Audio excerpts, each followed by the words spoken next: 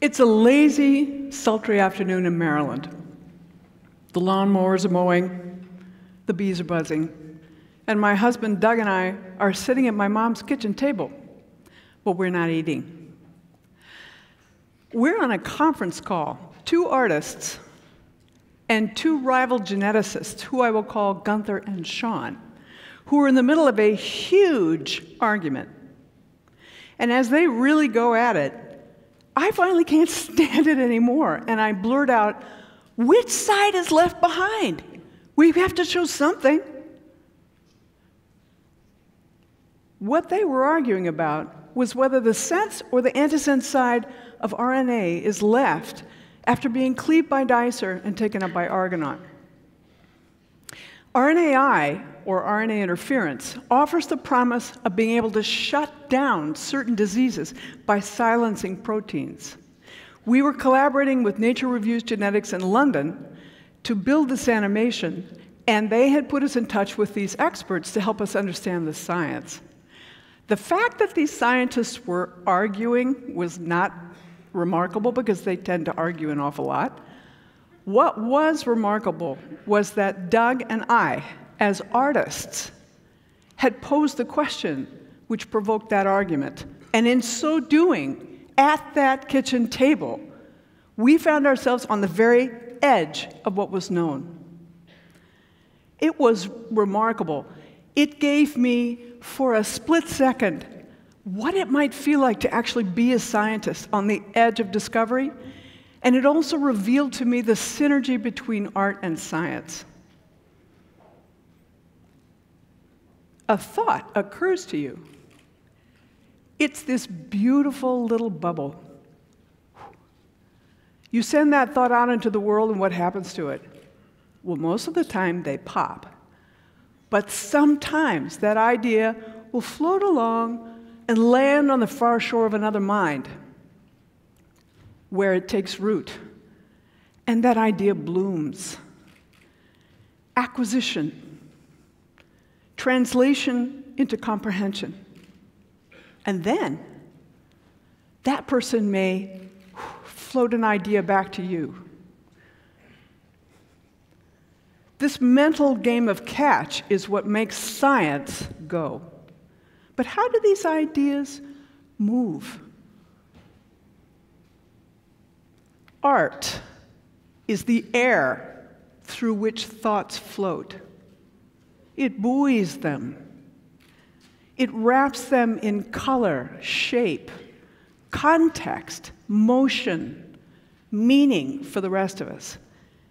It can inspire, but it can also destroy that thought. So thought so care has to be taken. And I am not saying that art for art's sake isn't useful or valuable, because it absolutely is. Art is oxygen. We cannot survive without it. But in the context of serving science, conveying an idea from one mind to the next is art's mission. Art and science have a symbiotic relationship that cannot be overlooked. But these two worlds have drifted apart. What's happened?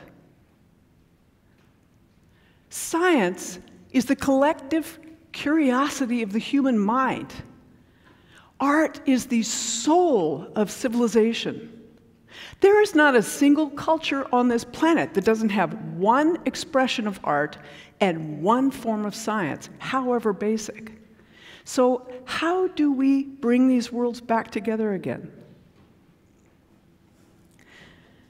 There's a little town in Tennessee called Oak Ridge. It was part of the Manhattan Project during World War II, a secret city. There were more scientists, mathematicians, and engineers there than you could shake a stick at. And I grew up there. And I thought, until I left Oak Ridge, that everybody in the world was one of those. I really did.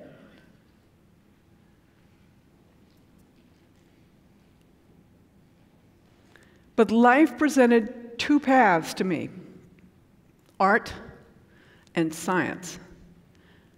And I didn't think I had what it took to be a scientist, so I chose art. I had so much support from my family and my friends, but I somehow felt that I had chosen the lesser path. And even though these people surrounding me thought that I could do no wrong, it didn't make sense to me. I didn't understand why I felt like what I was doing was less than. And here's why. I finally figured it out. Society looks at art like it's a luxury. It's really nice, but it's not that necessary for human survival. Science is this cold, impenetrable box. It's threatening, but it's a necessary evil. Science is the realm of fact and truth. And art is beauty and fiction. Is that true?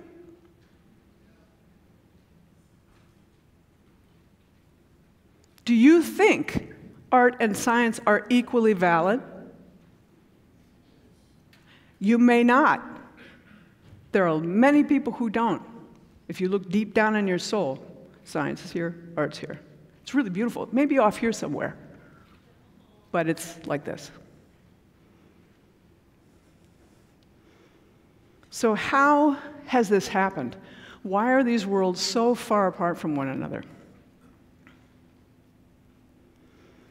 Scientists want nothing more in the world than to tell you about what they're working on. They are dying to tell you. But if you don't know their language, you can't understand what they're talking about. Because discovering something or inventing something is radically different from telling somebody about that, which is altogether different from, from showing somebody. And science begs to be shown. So, all this was going on, and it finally came to a head when I came across this book. And it crystallized my thinking about what happened to these two worlds. In the 17th and 18th century, in London, the Royal Society, science, the Royal Academy, art, lived in the same building called Somerset House.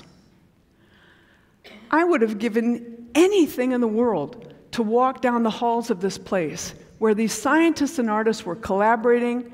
They had studios, they had laboratories, they were experimenting together, and they viewed one another as equals because they were equals because most of them were both. Then, both groups got bigger, and in 1837, the Royal Academy moved out. That is the year, mark it, that is the year where these two worlds began their tectonic shift away from one another. And even though there are people who are trying to bridge this divide, and there are a lot of them, I think that in society these days, these worlds have never been farther apart. But the truth of the matter is, as humans, and we are all humans, we require stories. I find it fascinating that there are this many synonyms for the word story, and that's just the English language. We need them to process and understand information. I have one of the most fascinating stories that I've ever heard, and it's happening inside every single one of us right now. It's called your immune system. It's not called the forever war for nothing because it never ends. There is no command center. You just have millions of little cells all working together with one purpose in mind that's to keep you alive for one more day. If the system says the wrong thing or stops talking, that's when disease can happen. And it's kind of like society. You have these bad elements, but society will usually take care of that. But when society doesn't deal with that well enough, that's when you get things like cancer cells, which can basically get away with murder. Or you have psoriasis. This autoimmune disease tricks your system into thinking that you are the bad guy and you go after yourself. Or say you have an allergy, you breathe something in, your body goes into hyperdrive, you have mast cells that start spewing out cytokines and histamines, you feel awful, or you may have a really bad infection and you send in the big guns, which are neutrophils, nature's little cluster bombs, which blow up and just destroy everything in an area to give you a chance to reset. This is full scale war going on inside of you all the time. And you generally don't know it unless you feel really bad.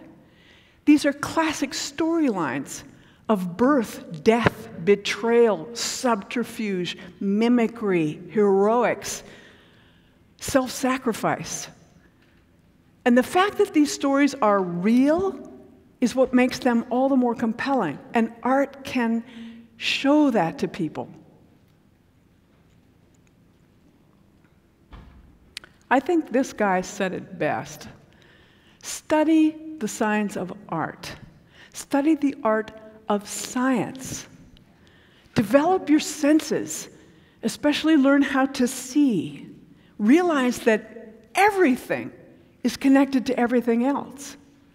You, we have the capacity to fold that thought into every waking moment. And here's why that's important. Art can entice people to pay attention to science. Of those people, some are going to turn into scientists and they will solve some of the big problems we've got going on right now. Other people will be artists. They will illuminate the science for other people so that they have an appreciation for it. There are three things I would love for you to think about and do learn more science than you already know. It's not that hard, there's a lot of it out there.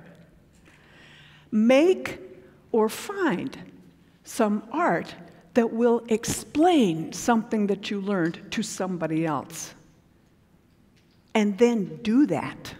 Take that art and explain it to your brother, your husband, your child, your grandmother, your friend, your coworker. Share that experience of wonder.